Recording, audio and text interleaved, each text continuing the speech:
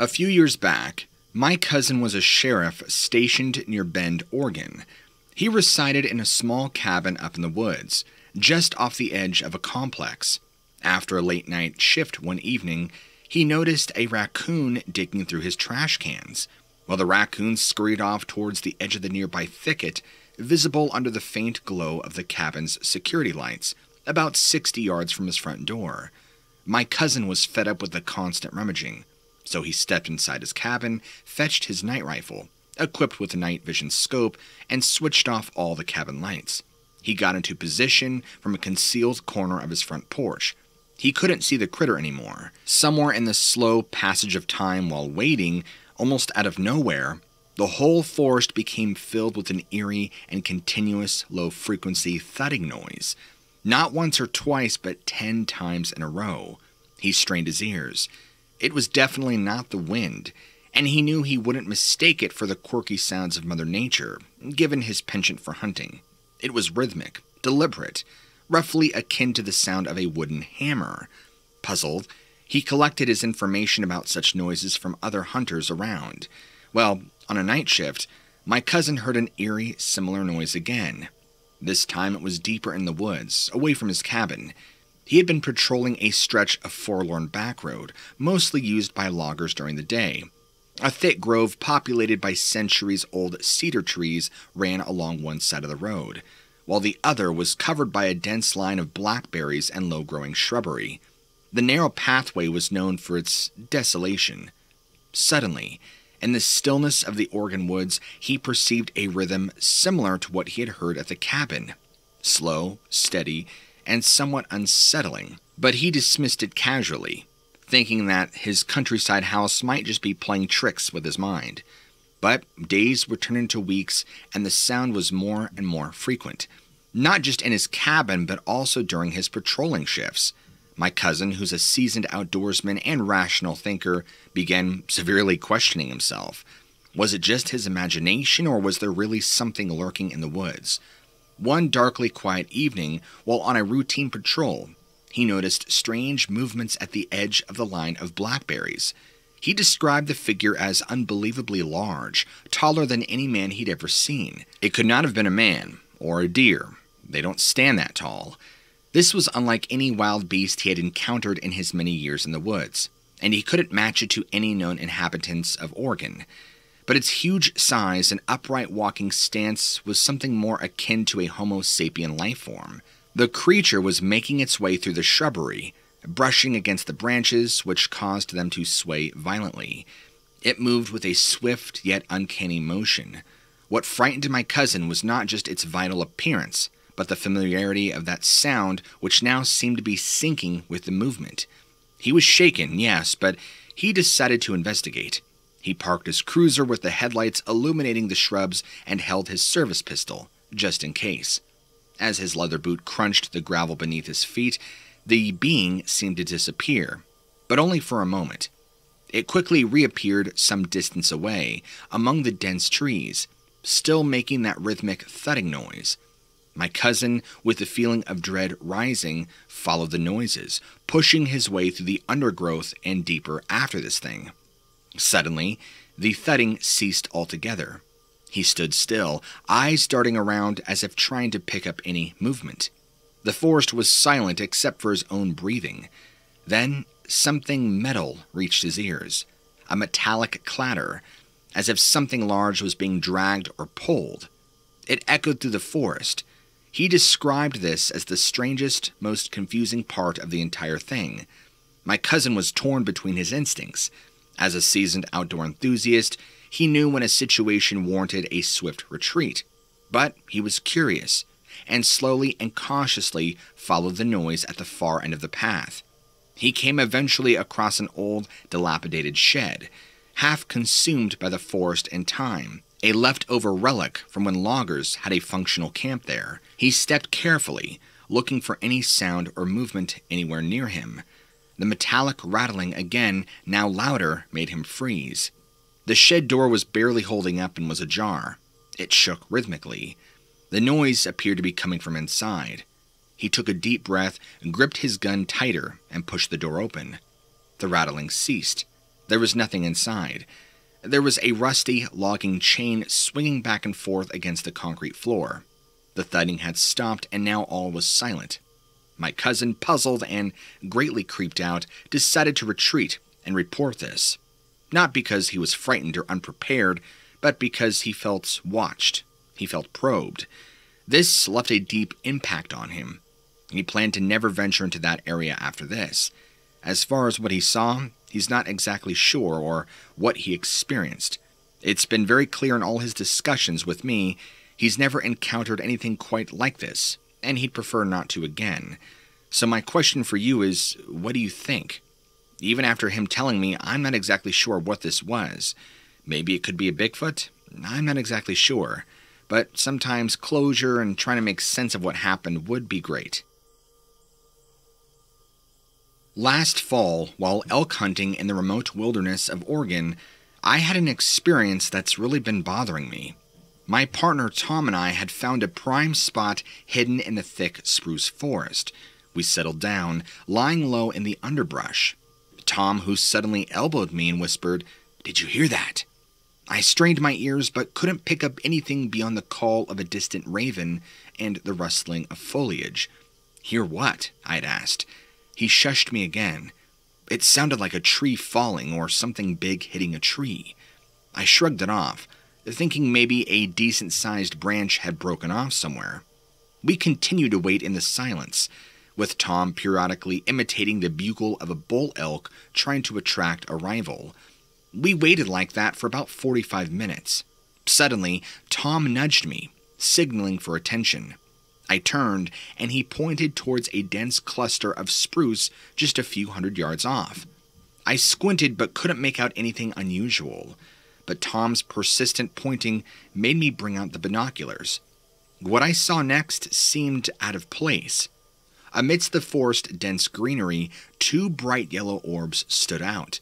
They seemed to be pretty high off the ground, roughly nine or so feet, if I'm estimating and faintly glowing against the shadowy backdrop. I was quick to chalk it off as a trick of the light or potentially some sort of forest ranger's marker or a trail sign. I handed the binoculars to Tom, hoping for a second opinion. Tom focused on the area, and to my surprise, his eyes widened. He gestured for me to look again. As I focused on the strange orbs, a bizarre thing happened. It looked as if whatever was behind the tree was now peeking out from behind, and crouched down, still observing our position. All this time, it remained hidden, with just the glowing orbs revealing its presence. It was then the yellow glow disappeared into absolute pitch blackness, the forest swallowing its strange luminescence.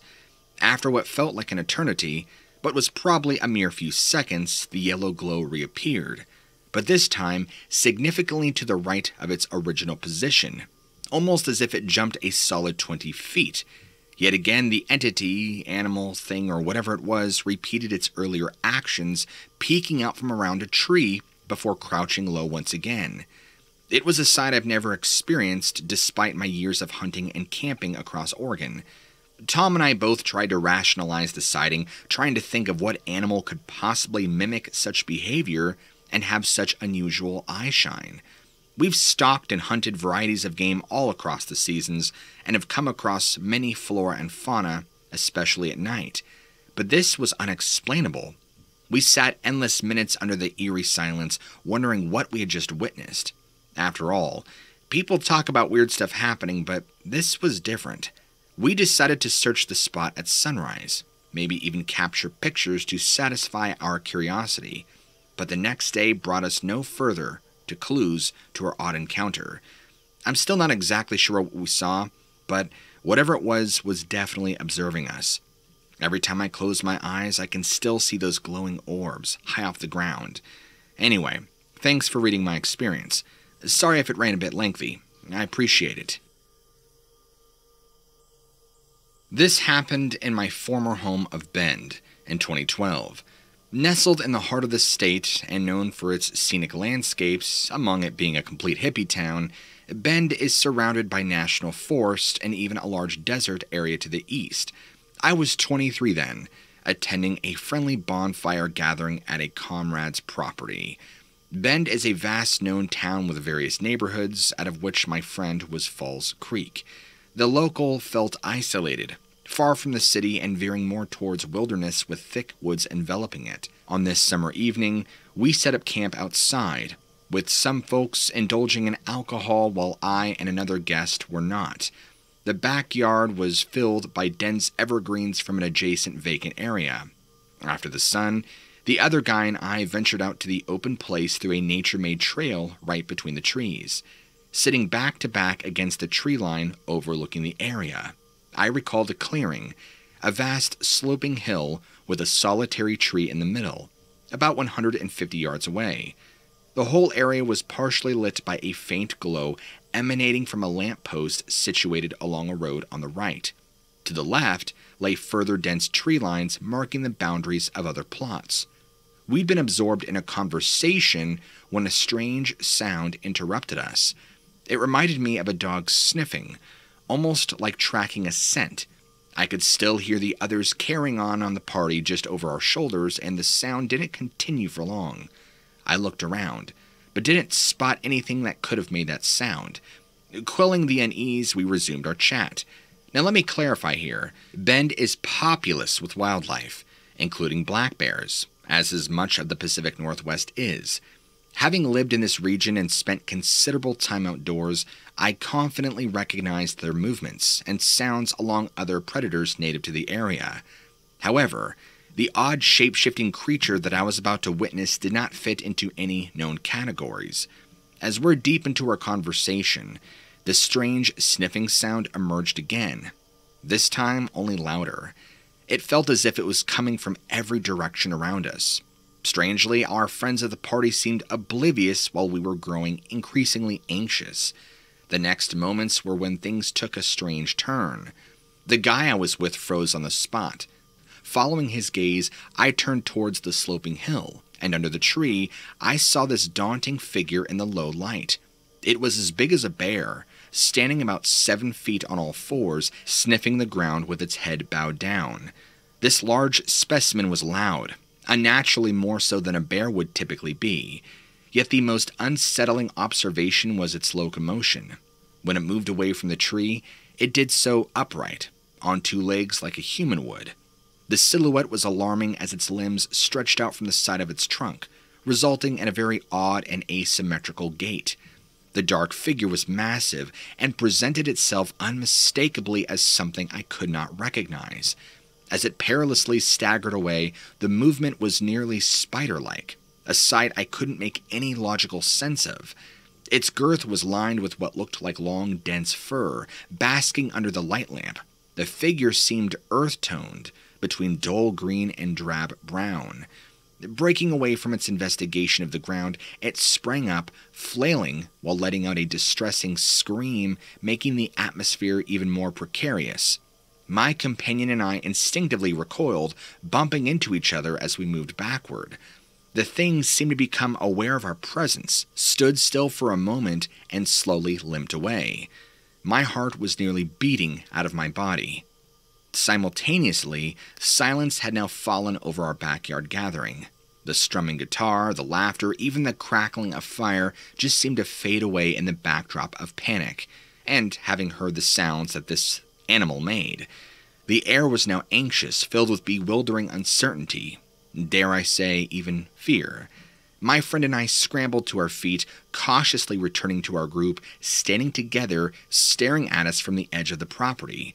My eyes were still locked on the figure now about to disappear into the woods across the property its odd saunter continuing as it moved away from us. It was then that our group finally stirred to activity. Discussions broke out with everyone trying to comprehend what we had encountered. Was it some unknown species? Was it a mutated bear? We don't know. But we understood that it was something that we wouldn't normally encounter. Now, the rest of that night was pretty uneventful, but man, that memory still creeps me out to think about. In the summer of 1972, a creature dubbed the Rogue Beast was reportedly spotted near the outskirts of Rogue River National Forest in the state of Oregon. A local named as Dave M. claimed his encounter with the creature while on a trek towards a campsite. The creature, according to Dave, was a furry bipedal creature roughly the size of a deer. Its head was oddly shaped, triangular with sharp ears and a pointed face. It had a dense, dark brown coat, and it reportedly let out terrible screams as Dave approached. Interestingly, Dave noted that its gait was odd, with its legs pointing outwards from its body, giving its movements a strange, almost insect like quality as it scurried away. A few years later, during the fall of 1982, the rogue beast was reportedly sighted once again, this time in Jackson County near Prospect, located near Crater Lake National Park. Two locals drove across a secluded road late at night for some deer spotting using their car headlights before the hunting season. They wanted to see how populated the deer herd had become in the area. What they came across, however, was far from what they were anticipating. The night was chilly, and the unpaved road leading towards the forest was uneven and muddy due to the previous day's rain. Taking the lead was Gerald, an engineer by profession and a hunter by passion. He drove his classic Chevrolet van while his longtime friend and hunting partner, Stephen, was seated in the passenger seat, his eyes squinting for any sign of deer movement in the headlight beam. At approximately 1:15 a.m., as they were slowly navigating a narrow bend in the road, a strange creature emerged from the tree line, darting across the road. Caught in the sweeping glow of the headlights, it appeared to be an enormous animal, the size of an average deer, but uh, bore little resemblance to any known species in the region. The creature was covered with dense, dark brown fur, which glistened eerily under the headlight. It displayed a triangular face, reminding Gerald of a bat, with eyes that shone like tiny orbs. But what struck them the most was its gait. Oddly enough, it was bipedal, its disjointed limb movements giving it a strange insect like impression. Frozen in shock, their vehicle came to a screeching halt. The creature darted across the road, letting out a deafening shriek that echoed all throughout the trees, escalating their terror. It was unlike any sound either of them had ever heard, and it was disturbingly human like. As it disappeared in the dense undergrowth, they were left in a stunned silence. The once peaceful forest appeared far more sinister, and they sat in the car trying to comprehend what they had just witnessed. Decades have passed since that last sighting of the rogue beast, and both Gerald and Steve, now in their 70s, still recall that night. Shared around many dinner tables and campfires, their encounter still remains a mystery. What is the rogue beast? Was it a mutated creature, perhaps an alien? Or are there other Oregon residents that will come forward and share their own experiences? I guess time will tell. I want to recount an event that happened to me back in November in 2015. At the time of the year, I would be bunking down in my little cabin at the edge of a forest in Oregon. I was working as a ranger then, preferring the solitude of the wilderness brought after my stint as a firefighter. As part of my routine, I tended to drift off to sleep on the couch in front of my fireplace, the flickering light the only thing breaking the inky darkness. My cabin, small as it was, had windows on all four sides, giving me a panoramic view of the forest around. Given my experience in the line of duty, I've always had my old service sidelock pistol handy. Now, I've always been a realist, believing only in what I'd seen or experienced firsthand. I had no time for ghost stories, and UFOs were a laughable subject to me, much to the chagrin of some old friends back in the city. But all that skepticism would get torn down on that cold November evening. I remember being awoken with a start from my slumber, a sensation as if something wasn't quite right wriggling at the back of my mind. My eyes flicked open to see a soft white light glowing through my front window, illuminating the shadow interior of my cabin. I blinked groggily, at first attributing the luminescence to the waning fire. But as soon as the idea formed my mind that a larger, vivid blue light had ripped through the window, it tore me out of my sleepy stupor. I squinted against the brightness, my mind racing to make sense of the situation. Could it be a late night hiker in trouble or a lost tourist? Quickly grabbing my sidelock pistol from the coffee table, I made my way towards the window, peering outside. What I saw out there shocked me to my very core, making me momentarily forget the freezing cold of the cabin against my bare feet. Standing there in that little cabin, that was the start of my story. And there, casting these strange lights, was something I could barely comprehend. An object, fairly large, cylindrical in shape, with shimmering inhuman blue and silvery lights emanating from its body. It hung in the air, midway between the snow covered branches, as silent as the night itself. I could hardly believe what I was seeing. My mind struggled to make sense of it. I shook my head as if trying to wake up from a vivid dream. This wasn't what I was expecting in the middle of the forest. With a pinch of courage and a dash of curiosity, I decided to step out. Tucking my pistol into the back of my jeans, I zipped up my jacket and put on my boots. I slowly opened the cabin door, its frost bitten hinges creaking and cracking, breaking the silence of the night. I took a few hesitant steps towards the object, and with each step, I noticed more details geometric shapes being projected onto the snow, and possibly complex symbols I had never seen before.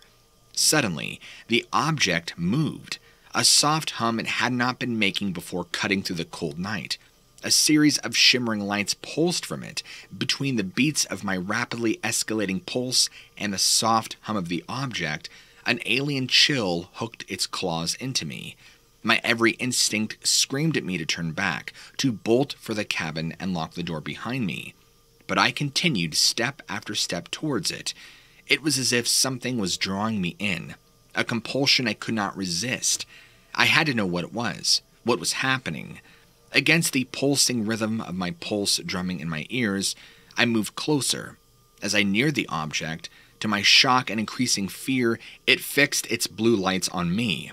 In fear and awe, I stopped dead in my tracks.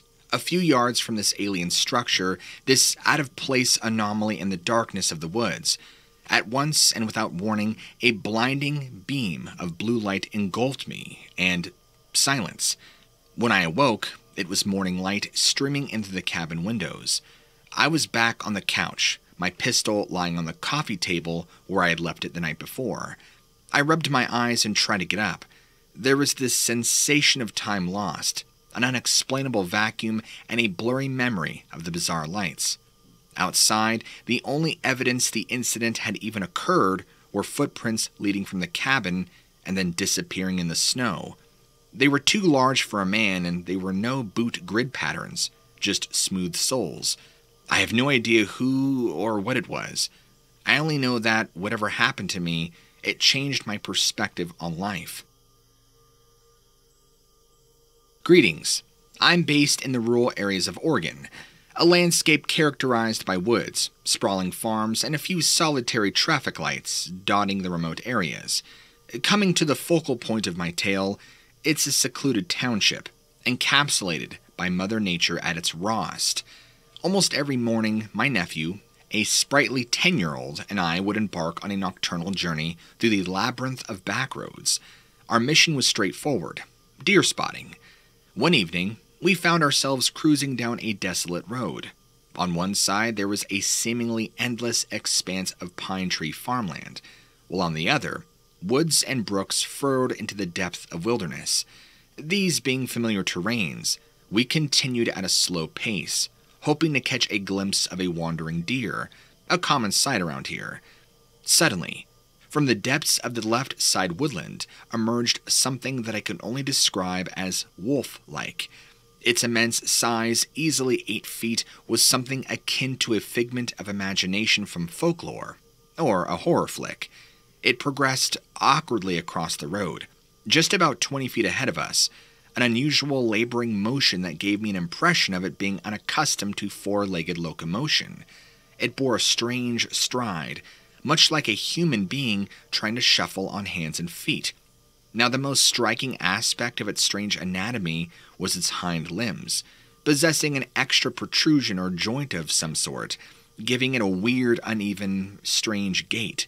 At this point, I was at a standstill, staring enthralled and taken aback at this thing slurping its way across our path. As I was saying, it was a sight to behold. We could only gawk in amazement at its dark, matted fur that seemed to ripple and twist, lending it to an air of otherworldly. Considering how it was caught off guard, its actions were remarkably calculated. It seemed to me as if it was accustomed to evading curious onlookers. What left us astounded, though, were its eyes, these enormous glowing orbs that seemed to reflect the full moon hung overhead. Their size was out of proportion, as large as serving platters, even bigger than you'd expect on a typical moose. And I couldn't help but wonder if this is what inspired the Native American folk tales or maybe something else. Its gaze fixated on us briefly while crossing the road. A gaze that felt like it bore into our very souls, before it carried on its strange loping hop. The creature's tail was another physical attribute that pushed the boundaries of regular mammalian anatomy. It extended a good three, four feet, swishing listlessly in the air as it moved. The sighting took place within a matter of moments, but felt much longer, perhaps due to the unreal nature of the encounter. My nephew and I were dumbstruck. Not a word was exchanged throughout the incident, let alone any attempt at getting a picture. As it reached the farmland, it disappeared into the neat rows of tall pine trees, leaving a rustle that gradually faded into the nocturnal symphony of crickets and owls. Now, back home, we shared this unforgettable tale with our puzzled relatives. Our uncle simply suggested it could have been a bear with mange. A cousin thought maybe a lost kangaroo, but none of these species descriptions matched what we'd seen.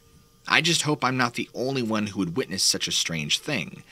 And reading this, I hope it might encourage others who spot something similar to come forward. From Central Oregon, over and out. This experience happened to me in Medford, Oregon. Now, I'm not saying that what I saw was a legit cryptid, but I've been searching for what it could be for possibly up to five hours now, only to hit a brick wall. Look, the best I can come up with was a grizzly bear. But here's the thing this area doesn't have grizzlies. I first caught sight of it when about a hundred yards out, emerging from the woods with a gait similar to that of a wolf trudging through thick snow. It was almost midnight black, save for its unusually large, reflective eyes that shone eerily back at me, roughly as big as tennis balls. Its limbs were slender, like those of a deer. But let me put things into perspective when I say it was twice my size and I stand at a decent six feet. The fur was long and seemed somewhat unkempt. The creature's face bore an uncanny similarity to that of a fox, while a tail, approximately two feet in length, trailed behind it. Now, as it moved, its lips drew back almost as if it were snarling, like it was not too pleased to be caught off guard. But it did not slow its pace covering the full width of the otherwise desolate street before it approximately five long strides until it vanished into the dense assembly of trees on the other side. Now, I quickly texted my friend who stays across the street about the strange encounters, only to be met with a snide comment likening the creature to a fox buck. But frankly, I just want to know if anyone else has come across anything similar in these parts. It's worth a mention that our encounter occurred around the back roads of Medford, specifically near Oregon Route 62. The creature had a very fox like face, and it was devoid of any antlers. To be sure of what I saw, I decided to go for a cold morning walk the next day, just as a follow up. Dreadfully cold for an October morning. Our good old town was typically quiet. There was still fog lying low, and my breath felt almost solid in the chilly air. I didn't feel unsafe, but I was straining my senses to the maximum, trying to capture even the most minute noise or movement around. The places where the leaves had been rubbed off, more like trampled on the forest border near Route 62, were indicative of something heavy passing through. I followed the path that this animal seemed to have taken, maneuvering around broken branches and upturned stones. That's till I reached a small clearing with a low lying bush. I discovered what looked to be a small makeshift den that was extremely crude, but no physical proof or evidence of this supposed creature. I decided to install a trail camera close by, almost hidden by the foliage, with hope of getting a glimpse, but nothing to this day. Well, actually, about four days after, I did capture this strange, hazy, upright figure, but nothing definitive or really worth posting online. If I get something much sharper and much more in focus, I'll try and send it.